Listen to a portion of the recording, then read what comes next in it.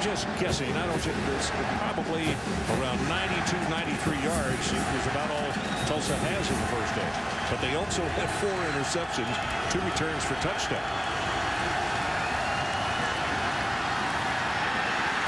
To be hit behind the line of scrimmage, and it will be third down. And we'll call it about 12. Not quite sure why Hawaii would not take a timeout here on third down. Three of them. Don't take them into the locker room with you.